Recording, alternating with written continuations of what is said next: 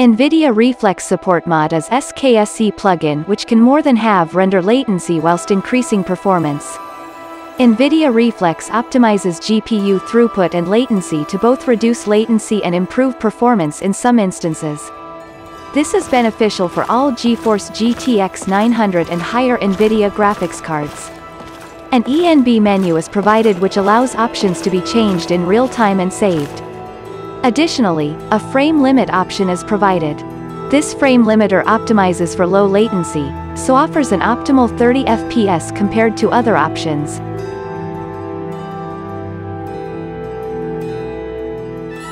This mod is not associated with NVIDIA in any way, although functions the same as any official implementation. The B-low latency boost option is enabled by default.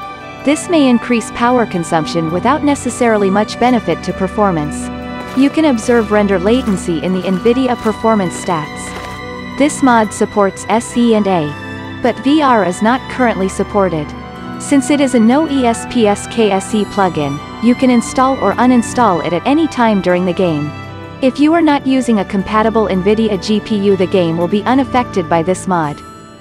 Address library for SKSE plugins is required to use NVIDIA Reflex support, and the captions for this video were created based on the description of the creator doodlez.